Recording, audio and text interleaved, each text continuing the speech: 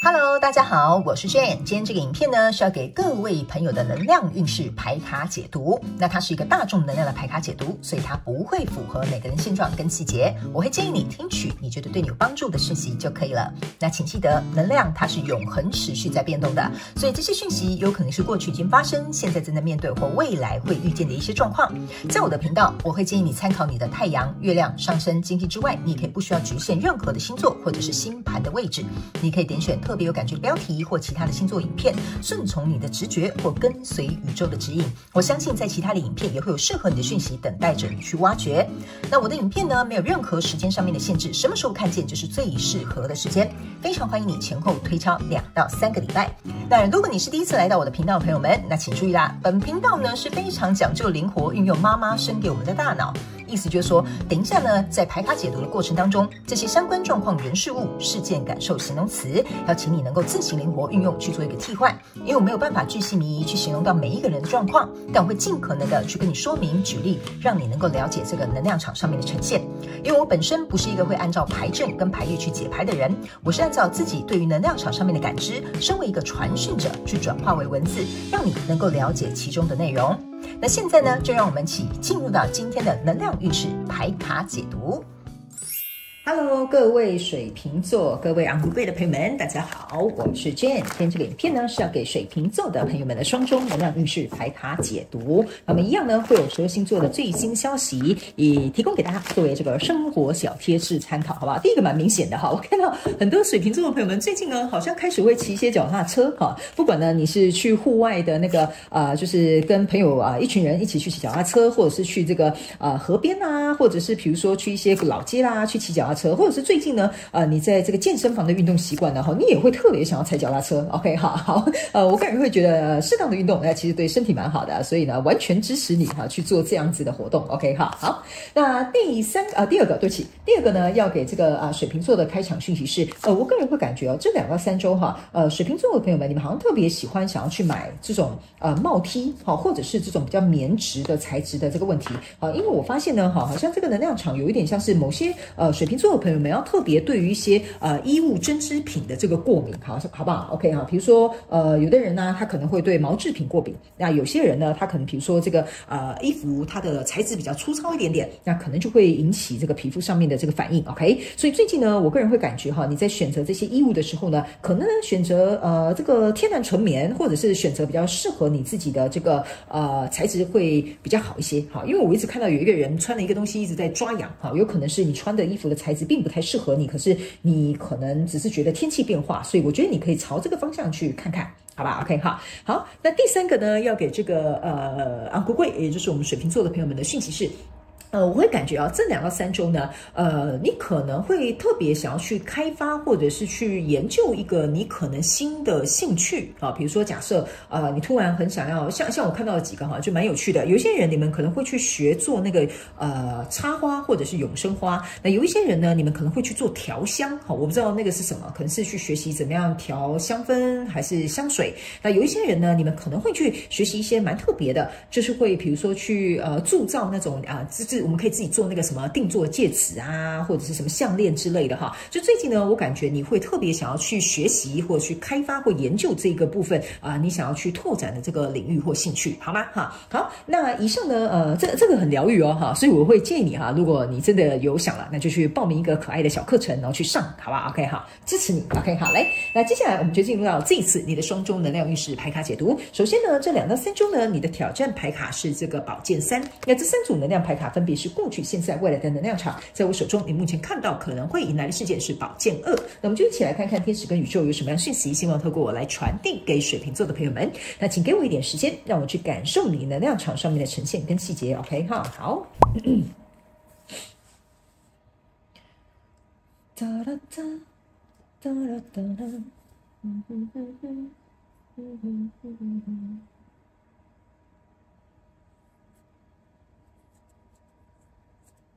嗯，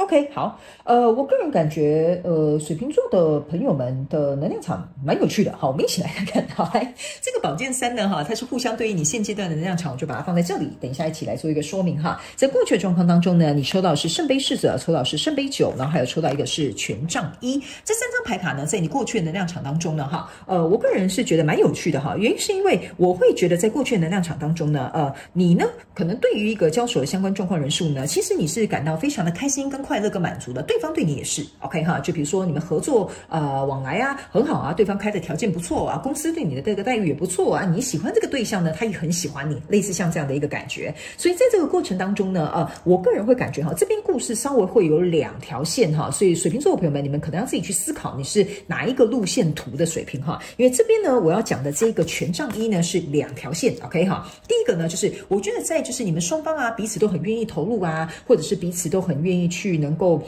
呃，进入到这段关系或这个合作啊，哈，我觉得呢都是有来有往的一个状态，甚至我觉得对方其实给你的待遇条件，或者是呃，我觉得这种互相送往迎来这种状况都不差。那这个权杖一呢，反而是给我有一种感觉哈，就是说呢，有可能呢，非常是你所交手这个相关状况人数、世界梦想或目标呢，啊，他呢可能在他那一边可能有一个新的机会，或在你这边有一个新的机会，或者是呢，哈，你们双方之间呢会有一个新的状况会产生。OK，好，因为这。这边开始就会有两个、三个路线图分叉了，所以你可能等一下我在讲后面的牌卡的时候，你就要自己稍微呃灵活运用妈妈生给我们的大脑哈，去思考一下，好不好？可以截取适合你的讯息就可以了，好吗？哈，因为呢，呃，我没有办法三个都解释，解释完可能就天黑了哈，所以呢，我就稍微先跟你讲，来到这边呢，可能就会开始有点分叉了哈。那这个权杖一呢，我个人会感觉哈，它就有点像是说。一个新的契机也好，或者是一个新的可能性也好，或者是你们彼此想要去创造什么哈，都好，都可以。反正这边呢，可能是在你或者是对方，或者是你们两个之间会有这个什么东西会开始出现了。所以来到这个现阶段的能量场的时候，相对的这个宝剑侍者，还有这个呃女祭司，然后还有这个圣杯骑士，我个人会有一种感觉哈，就是因为这样子新的这个状况或契机出现之后，好了，我个人会感觉在你们两个人双方之间呢，哈，或者是彼此各自的心灵里面呢，你们都会去思考。什什么样的状况或什么样的这个未来或什么样的目标呢？哈，对我呢，呃，或者是对整体而言，哈，这个大局面呢，嗯，会比较造成比较小的一个冲突。因为我个人会感觉，哈，这个新的契机或者是可能性或这个机会来到你们双方之间当中呢，呃，我个人会感觉啊，这是一个怎么说呢？嗯，怎么讲？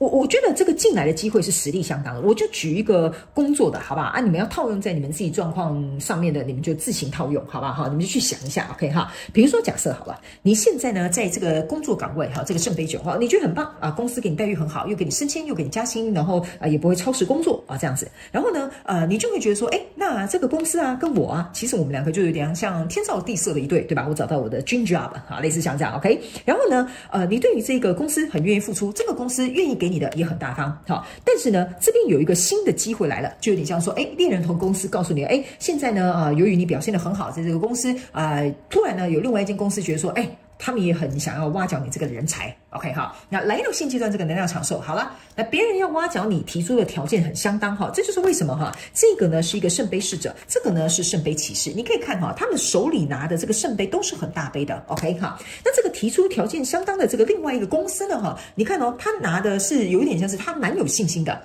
或者是蛮有自信的，就说我这个东西给你啊，是一定你会喜欢的，好，就有点类似像说你们两个人之间，比如说来了一个新的对象，哦，这个新的对象也一定就是你的菜啊，类似像这样，OK，好，所以当这个机会，当这个新的这个呃选择或选项进来的时候呢，来到这个状况呢，就会变成是说你去思考啊，我到底要怎么样相信我自己呃心里的想法，或者是去看目前整个局势，我到底该怎么做，才不会让这整个大局面啊，整个变得很混乱或者是动荡不安这样子，OK，所以呢，在这个过程。当中呢，我个人也会感觉哈，你可能呢也会去听一些专业人士的意见，或者是听看看身边信得过的人的这个呃，告诉你的一些啊建议或者是想法。但是我终究会觉得说哈，你在这个过程当中嘛，你要能够去，我这样讲，你怎么说呢？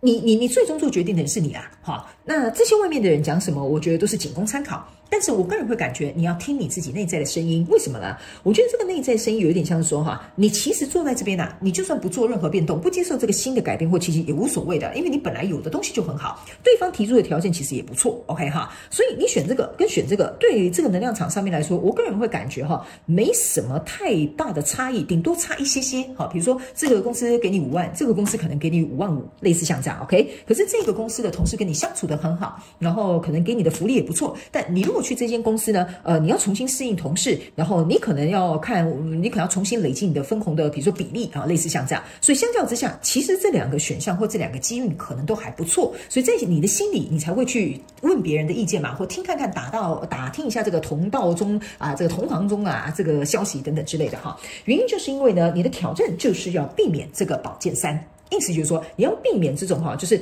你让老东家对你很失望，说啊，没想到我用心栽培你，你却想说哦，别人来挖奖你，你马上就想跑了，好，类似像这样，或者是比如说你遇到一个很心动的对象，但是呢，你你你对这个人可能心动了，但是你并并没有做出什么越轨的事情，可是这个跟你在这个关系里面当中的那个人。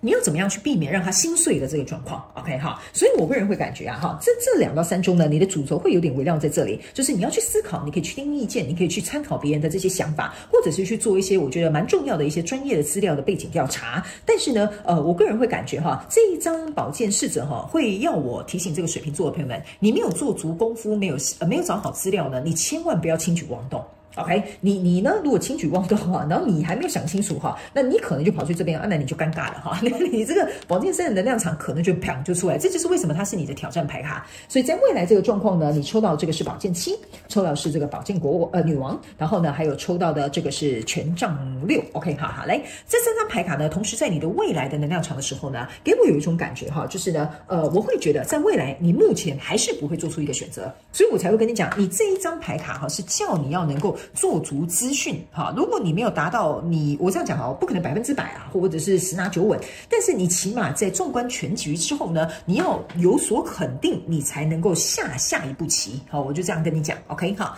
然后呢，这个宝剑七加这个宝剑女王呢，其实象征的，你注意看到它是宝剑六的。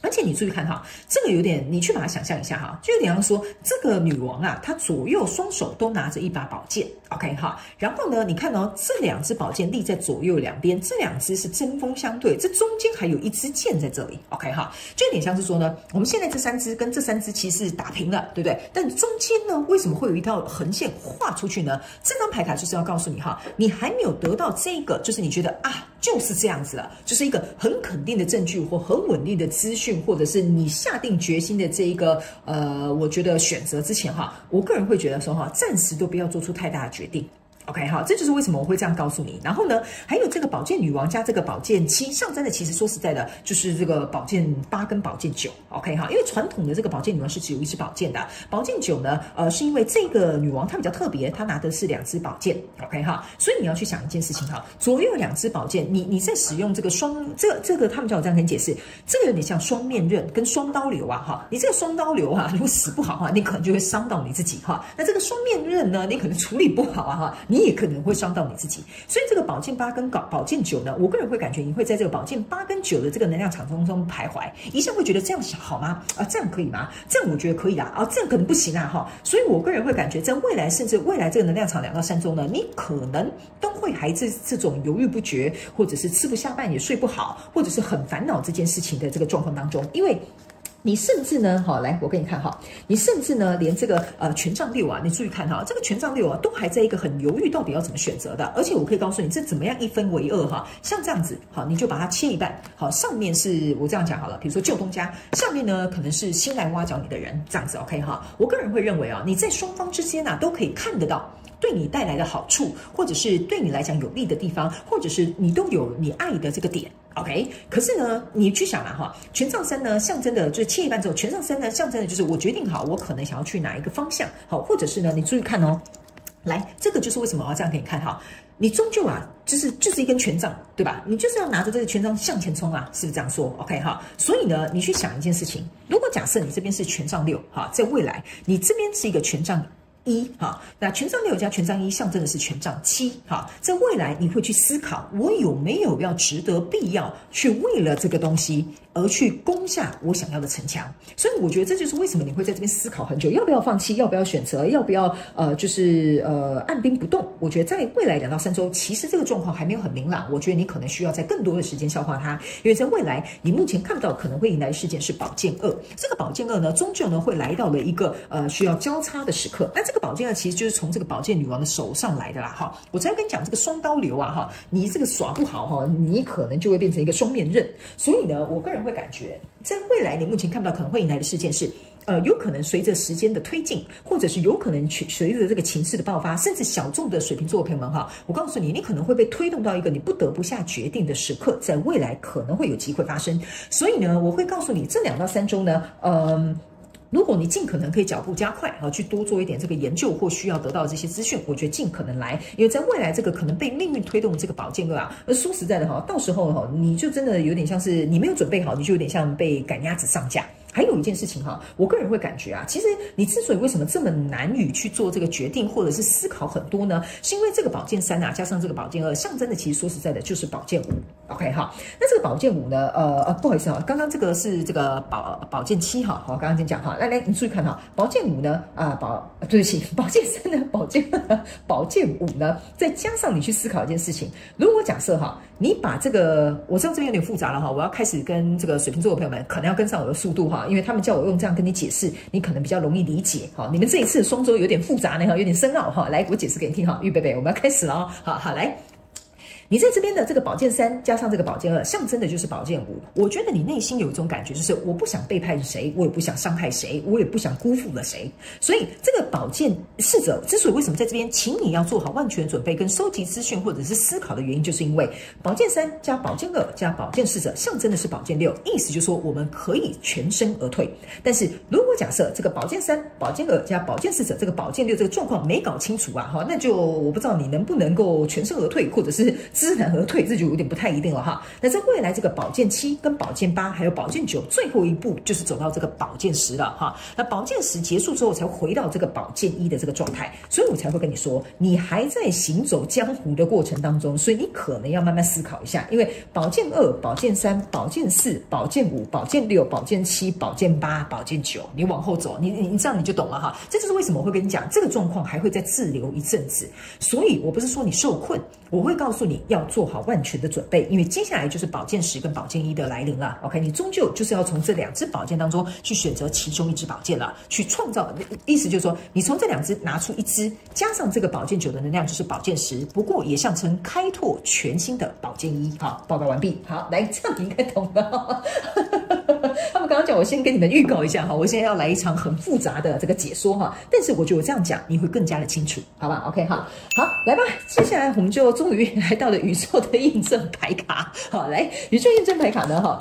我会建议你哈，不管是新朋友或老朋友，都可以来看一下，好不好？OK 哈。原因是因为呢，呃，这个宇宙验证牌卡呢，不仅会来验证我刚刚所要传递的这个能量场之外呢，有些时候会重复一些牌卡，会来告诉我们水瓶座的朋友们，哎，这个就是一个非常重要的症结点哦，所以你要特别注意一下，好不好？OK 哈。当然，你如果是来到我的频道是新来的朋友们呢，呃，你可能呢并不是对我很了解哈。我是一个只读正位牌卡的人，但是这一副牌卡呢，不好意思哈，很特别，它不管什么方位，我都会解读给你听，好不好？OK 哈。好，来，我们就一起来看看吧。来，在过去的状况当中，你已经抽到了这张，我就不用跟你解释了哈。这个宝剑二，OK 哈，哎不对不对，圣杯二哈。来，我先把它转正给你看，不然等下头晕了哈。来，这个圣杯二呢，刚刚出来的时候是往逆位的方向开始转了，OK 哈。象征的意思就是说呢，原本呢，这应该是一个，就像我刚刚跟你讲的，你这两个处的很好嘛哈，你的旧东家很喜欢你，你也很喜欢呃他们啊，你们就互相往来很好的。但这个圣杯二受到挑战呐，所以它开始往这个四十呃四五度角呃不是往逆位的方向走，然后朝向。即将快要到四十五度角的地方，因为这个新来的这个契机啊，哈。或机会或人选或选项啊，它其实说实在啊，是带着满满的热情跟熊熊的烈火来的。甚至呢，我个人会认为哈，有一些这个呃水瓶座的朋友们，这个东西来了的时候哈，我个人会感觉哈，你去想一下哈，它有点像是一个搅拌棒。哈，我这样解释，我不知道你懂不懂哈，但没有不礼貌的地方。我的意思是说，它很像一个搅拌棒，开始要在这一个状况当中，就是这个圣杯十的状况当中，开始有点像是要去掀起一些涟漪跟一些状况。因为呢，这个权杖一的能量要够大。他才能够掀起这个涟漪。这样你懂我的意思吗？而且你可以看得出来哈，权杖一这张牌卡，说实在，你光看他的意向，你就会感觉他来势汹汹。OK 哈，所以我才会跟你讲，这个人可以给你的，或这个公司可以开出的条件的哈，其实不差。OK 哈，那这也正是因为他力道够大，它才能够在这个双方都很和谐的状况下去造成了一点点动乱在里面。OK，那来到这个现阶段能量场呢，你抽到的这张牌卡是宝剑七一款哈，这就是为什么我刚刚跟你解释很多宝剑的原因，就是在这边，你的验证牌卡就是宝剑七，在验证你现阶段能量场。OK 哈，来。这张牌卡呢，即将要开始倾斜，变成一个逆位的一个方向了哈。OK，这个宝剑七呢，就像我刚刚跟你讲的，如果你要全身而退啊哈，你得要去好好思考了。我先把它放到旁边哈，不然我自己等一下要搞混哈。来，你得好好思考啊。这个宝剑二加宝剑三加这个宝剑四者，象征的就是宝剑六。接下来走到宝剑七，OK 哈。这个宝剑七，你注意看哈，这个人为什么要拿着这个宝剑啊？这边好像偷偷摸摸的，赶快把它搬走哈。因为呢，他就是害怕我现在啊做不出决定，我又害怕别人好像会觉得我。背叛背叛他哦，或者是辜负他好，然后这又下不了这个决定的过程当中，又有点尴尬哈。所以呢，这个就是宝剑三加宝剑二，象征就是宝剑五哈。你好像要一肩扛起这些所有可能不为人知的，或者是你暂时不能透露的，或者是你不希望这些交手相关重要人数发现的，就是在你这个现阶段的那场。所以我才会告诉你啊，这个宝剑七啊，赶快加这个呃宝剑侍者加起来，赶快想办法去收集一些你要的资料，或者去做一些前置作业，对你来讲是非常非常重要哦。因为如果假设你你现在不起身啊，你不赶快把这五支宝剑背在你的身上，我感觉工地就尴尬了哈，你就变成是宝剑七加宝剑侍者，象征是宝剑八，你就把自己困在里面了。所以这边我才会跟你讲，行动越快越好。这就是为什么前面我会跟你说，你如果有所行动，有所准备，最好是能够越快越好。OK 哈，那来到这个现阶段的这个能量场的你的这个挑战牌卡是这个宝剑三。那这个宝剑三的验证牌卡打横的是什么呢？好，来打横的是圣杯女王哈。这个圣杯女王打横的，说实在的，我也不是很讶异哈，因为我告诉你哈，这个圣杯女王呢，象征的是最大杯的。OK 哈，那象征的是哪一杯呢？来，哈，好，你垮起来哈，来，这个圣杯女王象征的就是在过去这个拿着圣杯的这个女生。OK 哈，他呢是捧着最大杯的这个圣杯来给你的哈。呃，我先跟大家讲哈，如果你是新来的朋友，你可能不太了解呃我解牌的方式。我解牌不一定会按照牌意的方式去进行，我会告诉你这个能量场要告诉你的讯息传递给你。OK 哈，这个女生呐，其实就是这个圣杯女王。OK 哈，你看哦，她好好的站在这边稳稳当当的哈，拿着这个最大杯的圣杯给你，然后来跟你进行一个结合。可是这个圣杯又受到挑战了，她现在是打横的。为什么打横的呢？哈，打横的为什么要来验证这个宝剑三？象征的意思就是说你。还在犹豫要不要对这个跟你交手相关状况人数造成任何的伤害，或者是避免任何的伤害，或者是损失等等之类的。所以你去想哦，打横的意思就是这个还没有完全打翻，所以你卡在一个选择要或不要，能不能给不给，或者是走不走的一个阶段。OK 哈，所以我觉得这就是为什么你在思考这样做到底会不会，而造成彼此之间的有一些，我觉得。无法控制的一些状况，我就这样告诉你，好不好？好，那在未来这个状况呢，你抽到这个是命运之轮的这个四十五度角哈，那它是呃准备就是要转转成这样子了，OK 哈。但是呢，呃，这张牌卡呢出现在你未来的能量场哈，我个人会有感觉哈，这张牌卡之所以为什么会是这样子的一个状况哈，因为它正位应该是这样子哈，它现在已经逆逆逆逆逆到快要转到变成完全逆位了哈。这张牌卡给我有一种感觉哈，你会有一种觉得情势或者是在未来这个状况哈，你可能会有一种。这种感觉哈，就是为什么我会跟你说，等一下，不好意思啊，这边太多讯息了哈，讯息量有点大。我先解释一个东西，为什么我会说你这个宝剑二呢？在未来你可能会被命运推着走，就算你不决定的话哈，这就是为什么前面我会这样跟你说，你不走啊，命运都会推着你走。因为当这个命运之轮啊这样转转转转的意思就是说，你不能再逃避这个命运的，你是时候要去下一个决定。所以现在你还有一口气在，它还没转职，还没转职哈，所以我才会跟你讲，你赶快把握机会，跑快一点，好不好哈？好。那在接下来呢？未来你目前看不到可能会迎来事件的宝剑二，你的验证牌啊是这两张，OK 哈，分别是这个。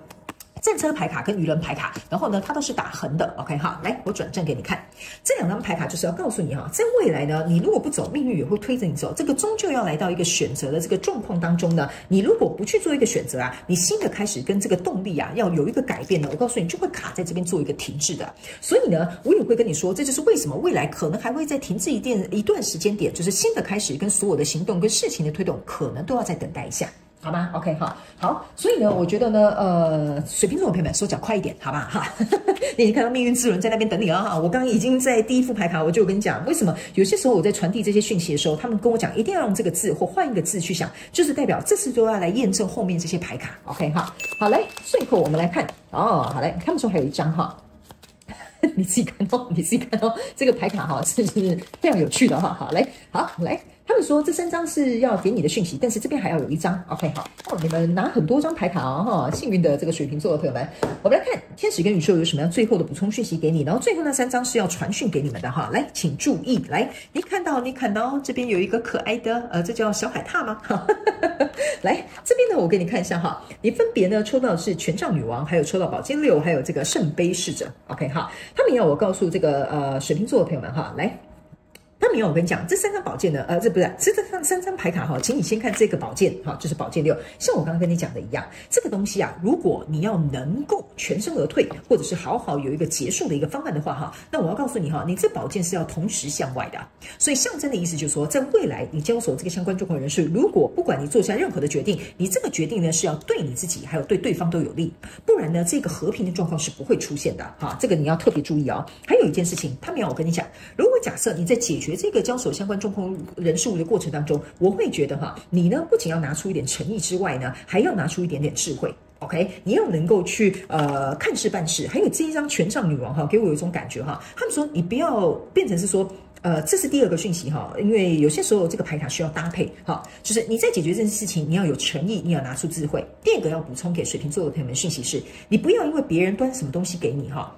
你好像就会被他控制。他们说呢，你要反控制，好不好？这个权杖呢，当它出现到你的生命当中的时候，对，没有错，它的确是发射朝向你。但是你可以把它接下来啊，你可以掌握这个东西啊，OK？这个人呢，或者一个交手相关状况人数、事件、梦想或目标或条件呢，他呢，你不一定要受限于他，而是你可以反控控制，拿起这个权杖，成为这个权杖女王，有智慧的去处理这些你所担忧的或你想要处理、想要面对的这些状况，好吧？好，这个他们要我跟你讲，你绝对有机会能够反控制或者是反转整个局面的。那最后这三张牌卡哈，呃，就是你的 bonus 啦哈，我们来看一下有什么，好不好？OK 哈，来，分别是这个魔术师，然后还有。这个死亡牌卡还有权杖四，我个人会告诉你哈，这三张牌卡之所以为什么会掉出来，要告诉水瓶座的朋友们一件事，非常简单，OK 哈，这个呢，呃，这两到三周这个状况当中呢，我必须要告诉你哈，这个就是来考验你，你要如何去显化你所想要的东西之外，还有如何去巩固，让这个东西呢能够有一次的机会能够看见这个希望，这个就是你这两到三周要去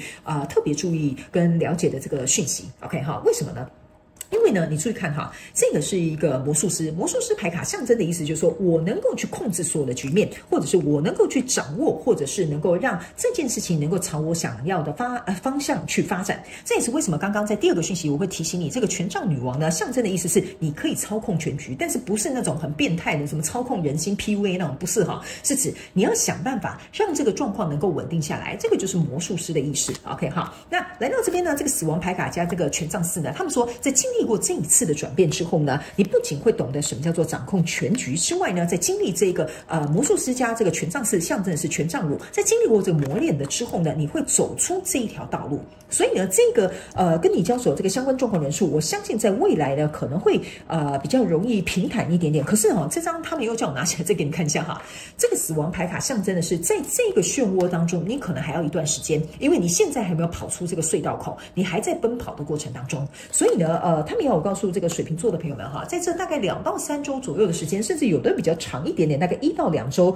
还有另外一派的这个水瓶座的朋友们，是到明年的二三月，你这个东西才会可能有所定案，好不好？OK 哈，好了，那以上呢就是这次要给我们这个水瓶座的这个双周能量运势牌卡解读哈。我个人觉得哈，这次解你的牌卡蛮过瘾的。不过里面呢，由于穿插了大概两到三组的水瓶座，所以我会建议你去截取你觉得对你适合、有帮助的讯息，然后灵活运用妈妈生给我们的大脑去思考一下。我觉得其中的关键要点对你来讲应该是会蛮有帮助的，好吗？哈，好了，那就非常感谢这个水瓶座的朋友们来看我的影片，也希望你们会喜欢。以上就是今天的能量运势排卡解读，我希望其中有一两句话能够帮助到你，这就是我最想要做到的事情。当然，如果有符合你的故事，欢迎你在下面留言跟我分享，我都会尽快去回复你们的讯息。那我是 Jane，我们就下次再见喽，拜拜。